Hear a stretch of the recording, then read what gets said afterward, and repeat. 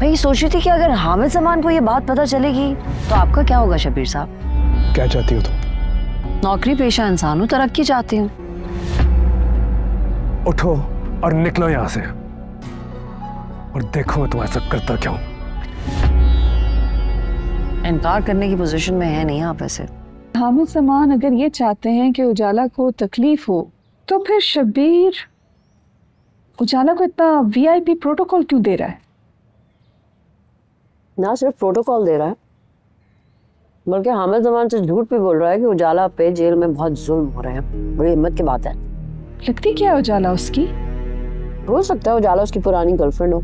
उजाला शादीशुदा है। और वो शक्ल से ऐसी नहीं लगती?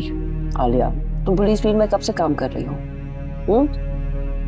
लोगों के चेहरे देख के हम ये नहीं जान सकते कि उनका पास्ट क्या है। किसी किसी की शक्ल पे नहीं जाना चाहिए।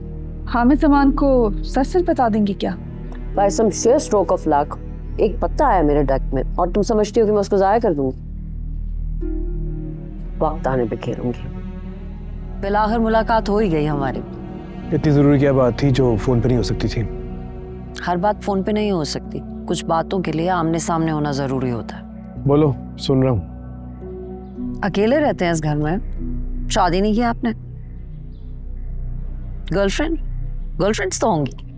ऐसी फजूल बातों का मेरे पास वक्त नहीं है। अगर कोई ज़रूरी बात हो, मुझे टेक्स्ट कर देना। उजाला कैसी है, पूछेंगे नहीं? उस रात आप काफ़ी परेशान हो गए थे। इतने ज़्यादा परेशान हो गए थे कि मैं परेशान हो गई।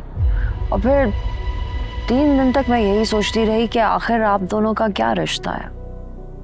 आई मीन कहाँ उजाला, कहाँ आप? वो तो थैंक्स टू हामिद जमान। उन्होंने मेरी परेशानी दूर कर दी। क्या? ठीक सुना आपने। आज बात हुई थी मेरी हामिद जमान से। पूछ रहे थे उजाला का कि कैसी उजाला? उसके दर्द में कोई कमी नहीं आनी चाहिए। जेल के दरो दीवार उसकी चीखों पुकार से गूंजते रहने चाहिए। अब उनको क्या मालूम कि उनका कार ख़ास, उनका अपना जानशीन उजाला के लिए पल के बजाय बैठा है। जेल में फाइव स्टार होटल वाली फैसिलिटीज़ प्रोवाइड कर रहा है उसे। मैं ये सोच रही थी कि अगर हामिद जमान को ये बात पता चलेगी तो आपका क्या होगा शबीर साहब? उठो। उठो और निकलो यहाँ से। और देखो मैं तुम्हारे साथ करता क्या हूँ। प्लीज़ जज्बात पे काबू रखें।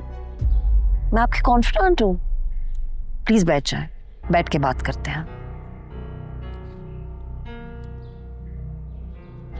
क्या चाहती हो तुम? क्या चाहना है? नौकरी पेशा इंसान हूँ तरक्की चाहती हूँ।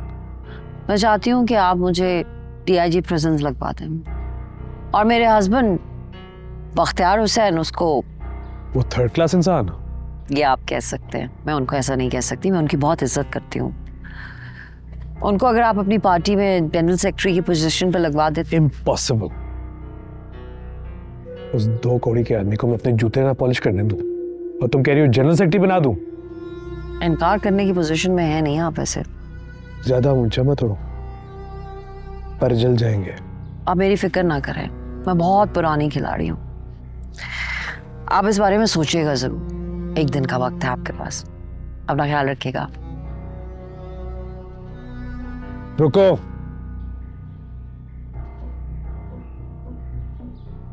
मैं तुम्हारी प्रमोशन करा सकता हूँ। लेकिन तुम्हारे शोहर को कुछ नहीं मिलेगा। वो जिस मकाम पे है उसी का शुक्र करें। और एक और बात। हामिद जमान जो सुनना चाहता है वो तुम उसे सुनाओगी। लेकिन उजाला को कोई हाथ नहीं लगाएगा। अगर उसके सर पे एक बाल भी हिला तो मैं तुम्हें और तुम्हारे पूरे खानदान को तबाह कर दूँगा। नोटेड मैं आपको शिकायत का मौका नहीं दूँगी। अब दफ़ा हो जाओ। देखिए पसे दीवार जुम्मा रात आठ बजे।